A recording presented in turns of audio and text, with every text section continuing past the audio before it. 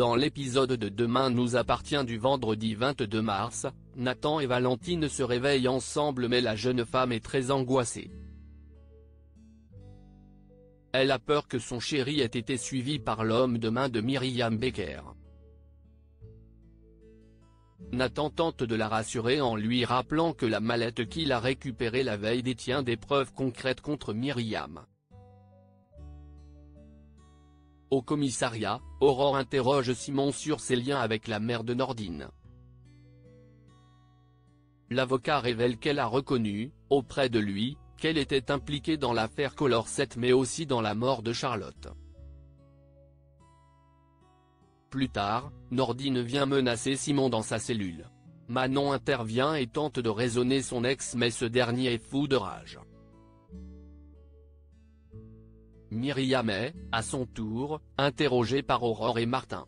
Elle assure ne pas connaître Simon et refuse de prendre un avocat car elle n'a rien à se reprocher. Aurore et Martin ne sont pas d'accord. La première pense que Myriam est coupable alors que le second défend la mère de son fils. Myriam sort libre, accompagnée par Nordine qui n'arrive pas à se calmer. Sa mère est innocente, il en est persuadé. Au loin, Valentine et Nathan observent la scène, désespérés. Nathan tente de convaincre sa copine d'aller déposer la mallette mais Valentine refuse. Pour elle, Myriam est de mèche avec les policiers. Ils décident de rentrer se planquer à l'hôtel. Dans la chambre, Nathan propose de contacter une avocate.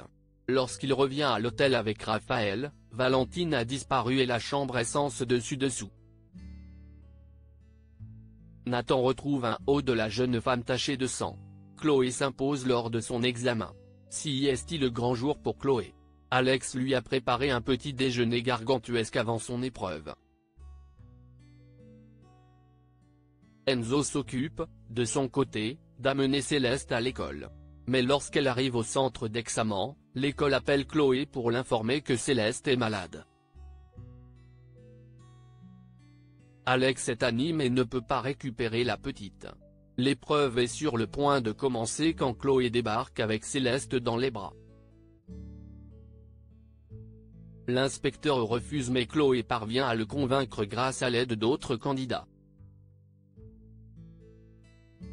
À la sortie de l'examen, Chloé, qui a plutôt bien réussi son épreuve, se confie à Alex. Elle a peur que le président du jury la pénalise. Au Spoon, Sylvain révèle à sa femme que si est aujourd'hui qu'il reprend le sport. Il va se rendre à la piscine avec Étienne. Mais, une fois au bord de l'eau, Sylvain n'arrive pas à rentrer dans le bassin qu'il considère comme trop froid. Étienne le provoque et Sylvain finit par se jeter à l'eau. Plus tard, les deux hommes participent à un cours d'aquagym dispensé par Mélodie. Sylvain chambre Étienne. Il a compris pourquoi il était là même si le CPE assure que ce n'est qu'une amie.